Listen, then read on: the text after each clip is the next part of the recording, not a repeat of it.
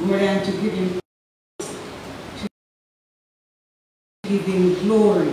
Amen. If you're here than that, then you're in the wrong place. Amen. That's the name of the Lord. Praise God. We are going through a very, maybe some of us, we have gone through a very testing week where we have to fight many battles.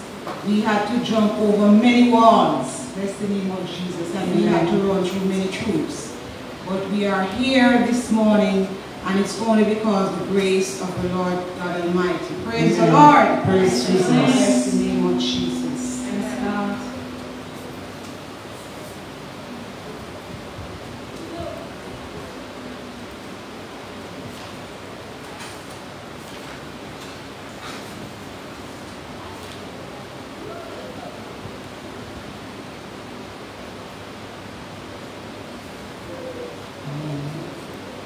Praise the Lord.